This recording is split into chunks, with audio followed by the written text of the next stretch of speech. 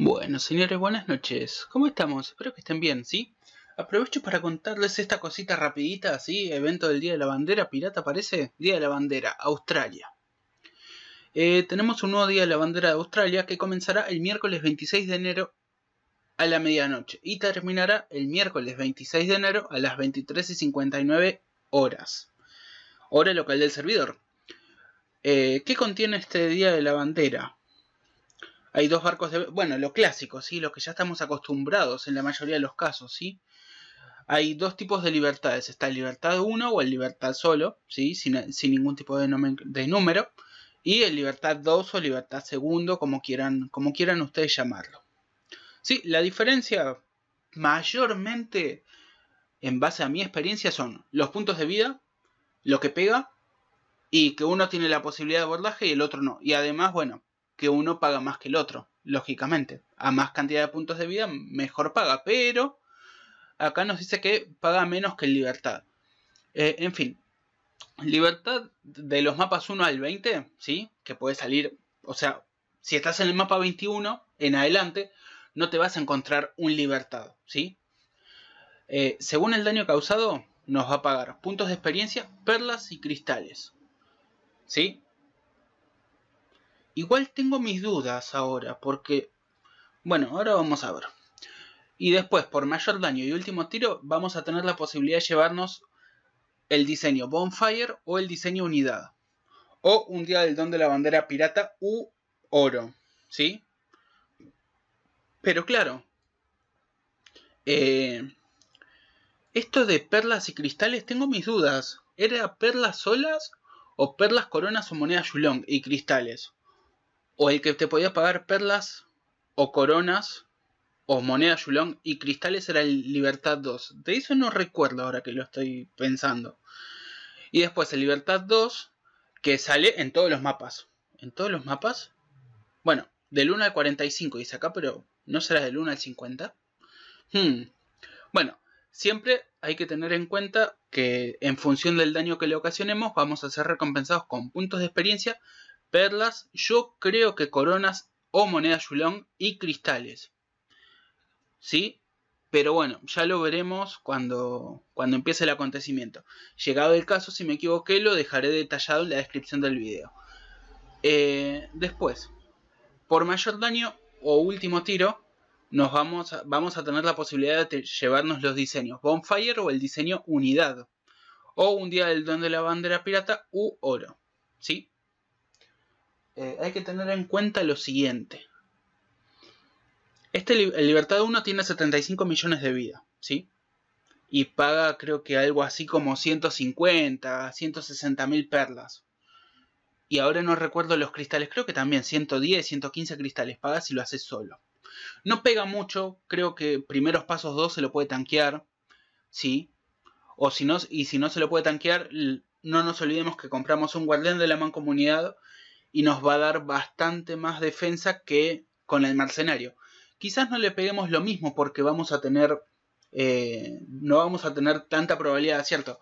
Pero siempre y cuando estemos atacando Libertad 1 no es necesario tener tanta probabilidad de acierto, al menos en mi experiencia.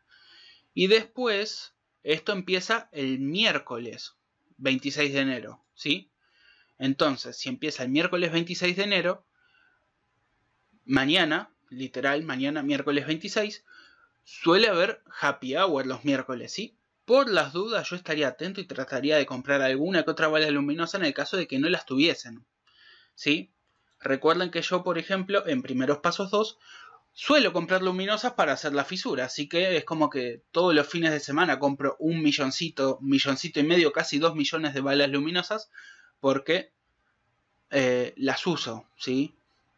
Si total, o sea, no, me importaría comprarme 30, bueno, si tuviese las perlas para comprarme 30 millones de balas luminosas, porque sé que las voy a usar de una manera que me van a rendir, porque las voy a usar exclusivamente en la fisura, ¿sí? Así que bueno, eso. Eh, después, el Libertad 2 tiene la, la, salve, la ventaja de que puede ser abordado. No recuerdo el valor de abordaje de este, de este NPC, pero con el abordaje podemos obtener los diseños anteriormente mencionados, ¿sí? Va, no. Los diseños no. El diseño Bonfire, al menos según esto. cristales, que creo que son 100, 120 cristales aprox. Y o oficiales de la mancomunidad, ¿sí? tanto guardianes como mercenarios de la mancomunidad. Es más propenso a que nos dé el nivel 1, que acá no está declarado, ¿sí? o el nivel 2. Pero también me ha dado el nivel 3, ¿sí? Y alguna que otra vez conseguí los 3 días del don de la bandera pirata. ¿Sí? Después también hay que aclarar que, eh, bueno, hay que aclarar, acá lo dice, los nuevos paquetes de Jolly Roger, que esto lo vengo leyendo desde hace cuánto, hace 3, 4 años que vengo leyendo los nuevos paquetes de Jolly Roger, que vamos, seguramente son los mismos paquetes del Jolly Roger del año pasado, del último Jolly Roger del 2021, ¿sí? También vamos a tener munición luminosa y llaves de león que van a estar disponibles en el área de pagos, ¿sí? De igual manera, recordemos que las llaves de león cuestan coronas en la tienda del juego, ¿sí? Si las, si las quisiéramos comprar para ver qué es lo que nos dan los cofres de león, ¿sí? Después van a haber dos misiones repetibles con, una frecuencia de 4 horas entre ellas, ¿sí? Por ejemplo, creo que una era de hacerle daño al, al Libertad 2 y la otra creo que era de abrir 10 cofres de león. Creo, ¿sí? Las recompensas no daban nada wow por hacer esas misiones.